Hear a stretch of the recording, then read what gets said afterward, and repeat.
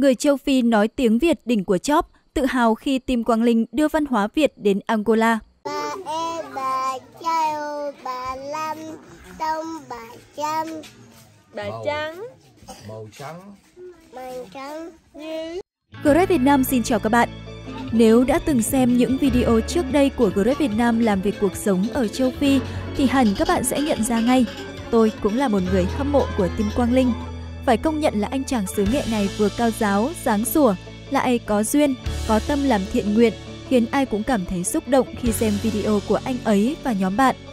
Thay vì chạy theo làm những video lố lăng với mục đích câu view kiếm tiền là chính, thì những video của Tim Quang Linh lại được các bạn trẻ xây dựng đậm bản sắc Việt Nam và tinh thần nhân ái.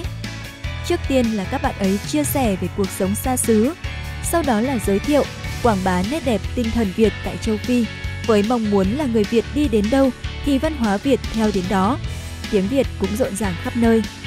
Không chỉ tự hào, ngưỡng mộ, mới đây khán giả còn vô cùng thích thú khi anh bạn Lindo Đồ của Tim Châu Phi còn rất nhiệt tình dạy tiếng Việt cho thầy hiệu trưởng và bác trường bản. Thầy giáo muốn học tiếng Việt để giao tiếp với người Việt tốt hơn. Tuy mới chỉ bập bẹ được vài từ đơn giản, nhưng thầy đã rất tự tin rằng một tuần sau sẽ có thể nói chuyện được bằng tiếng Việt. Thật hài hước và đáng yêu biết bao. Sự mộc mạc chân thật trong từng thước phim của Quang Linh đã tạo nên nét đặc sắc riêng, thu hút sự tò mò, xen lẫn niềm tự hào về chàng trai Việt tại xứ người. Đi cùng hoạt động thiện nguyện giúp đỡ người dân Angola là sự nỗ lực quảng bá văn hóa Việt tại quốc gia này của Tim Quang Linh qua các hoạt động thiết thực trong cuộc sống như nấu các món ăn Việt, đến trường học dạy trẻ nói, hát các ca khúc Việt. Có có thể tin ở một quốc gia cách Việt Nam hàng chục ngàn km liên tục vang lên những ca khúc Việt đầy tự hào. Những đứa trẻ Angola thuộc lòng những bài hát thiếu nhi của trẻ em Việt. Chưa hết, chàng trai 9X và các cộng sự còn tổ chức Tết Trung Thu, Tết Nguyên đán, đám cưới kiểu Việt cho người dân nơi đây, trải nghiệm văn hóa Việt Nam. Những nét văn hóa đậm đà bản sắc dân tộc Việt Nam, sự hào sảng của con người Việt Nam ở khắp các bản làng mà nhóm giúp đỡ. Tự hào mang bản sắc văn hóa Việt đến với người dân châu Phi luôn là tâm niệm của Quang Linh và nhóm bạn. Quang Linh chia sẻ, những việc làm nhỏ này để cho người dân nơi đây biết được văn hóa của Việt Nam và những người dân Angola cũng đón nhận nó nên tôi rất vui.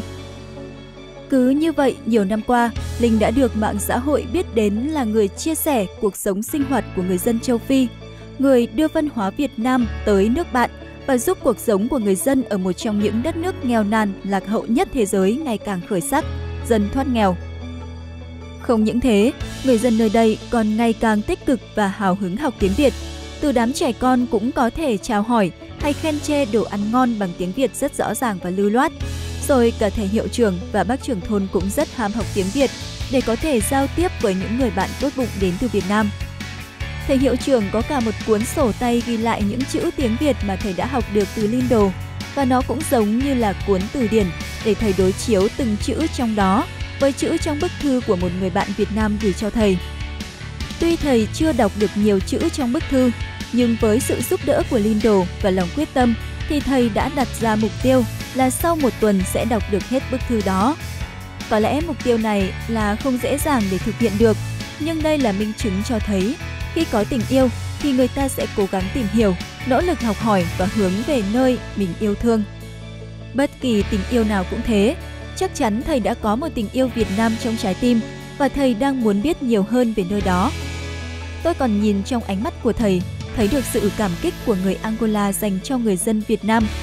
Có lẽ cũng vì vậy mà thầy hiệu trưởng muốn học tiếng Việt, nói tiếng Việt như Lindo để có thể tự nói lời cảm ơn bằng tiếng Việt gửi đến các nhà hảo tâm đã giúp đỡ thầy trò nhà trường cũng như tất cả người dân nghèo ở bản làng trong thời gian qua. Việc làm thiện nguyện của Linh cũng như nhóm thiện nguyện không chỉ làm cho người dân châu Phi biết ơn, kính trọng con người Việt Nam, mà cộng đồng mạng nhiều nước trên thế giới khi biết đến cũng thấy cảm phục họ. Ví dụ như bạn khán giả này đã bình luận. Tôi đã sống và làm việc ở Việt Nam hơn 20 năm và luôn cảm thấy rằng người Việt Nam rất tốt bụng. Tôi thích xem kênh của bạn và luôn nghĩ về những người Việt Nam tử tế trên khắp thế giới. Hiện tại, bằng thu nhập cá nhân lẫn các nguồn quyên góp, nhóm của Linh đã thực hiện dự án hướng tới tương lai khi hỗ trợ 5.000 học sinh miền núi ở đây có đủ điều kiện đi học. Rất có thể nhóm sẽ giúp đỡ các em trong khoảng từ 3 đến 5 năm, thậm chí là lâu hơn thế. Linh nói, Nhà nước Angola miễn phí tiền học cho trẻ, nhưng đồng phục, sách vở, tiền ăn thì gia đình phải tự lo. Mà đối với họ, tiền ăn phải kiếm hàng ngày, đầu dư giả để cho con đi học.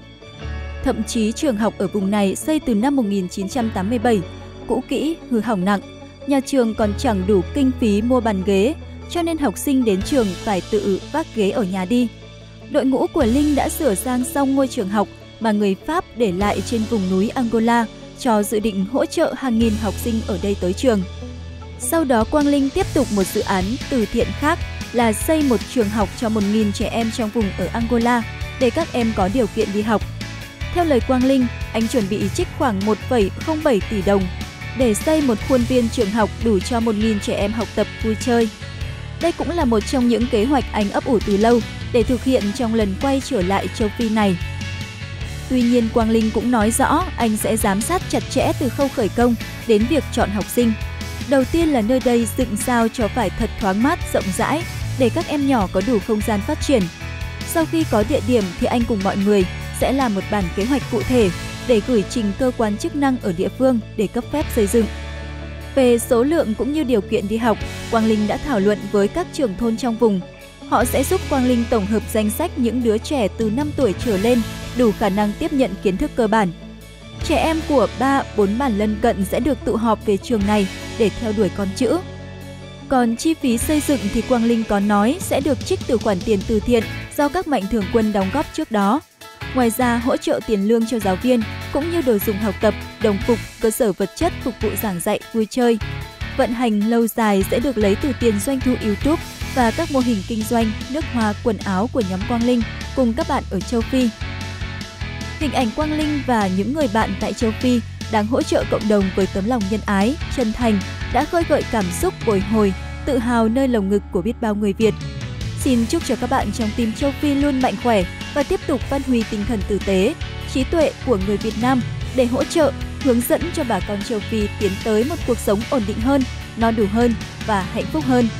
Cảm ơn món quà về tinh thần, tình cảm và cả vật chất mà team đã gửi về Việt Nam trong suốt thời gian qua. Cảm ơn cả tấm lòng vàng của những nhà hảo tâm trên toàn thế giới đã gửi gắm cho team châu Phi để chia sẻ yêu thương tới người dân bản địa. Mong rằng Quang Linh và nhóm bạn hãy cứ vững bước trên con đường mà mình đã chọn, con đường thiện nguyện đầy ý nghĩa. Bởi sau lưng các bạn là triệu triệu trái tim người Việt đang ủng hộ hết mình cho các bạn đấy. Còn các bạn khán giả của Great Việt Nam có muốn nhắn nhủ điều gì tới Quang Linh và team châu Phi không? Hãy chia sẻ điều mà bạn muốn nói ở bên dưới phần bình luận của video này. Và đừng quên nhấn đăng ký các kênh youtube của Team Châu Phi để ủng hộ cho những chàng trai đầy nhiệt huyết tuổi trẻ của chúng ta nhé. Cảm ơn các bạn đã theo dõi video ngày hôm nay. Xin chào và hẹn gặp lại trong các chủ đề tiếp theo trên kênh của Việt Nam.